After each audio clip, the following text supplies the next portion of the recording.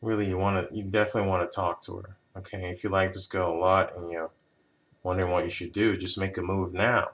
Make a move. Don't waste time.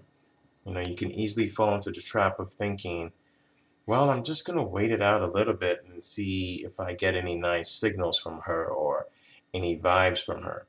A lot of times guys will wait around looking for a signal you know? And uh, that's a mistake okay? That's a big mistake. You should move in with or without signals, all right? Because you have